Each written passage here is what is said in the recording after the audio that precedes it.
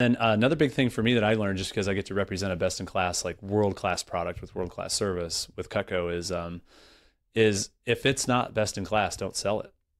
Plain and simple. Like, you know, it's really hard to sell cheap tchotchke stuff. And there's a lot of really great high quality things out there that need to be sold. So, um, and we're doing the world a disservice by selling a whole bunch of cheap disposable stuff.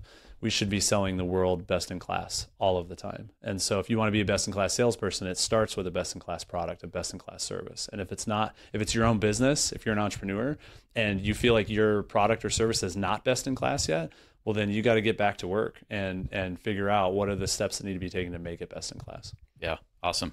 Awesome. We're making working on making this a world class podcast. So That's right. Thanks for being here. You're doing a great job. I love it.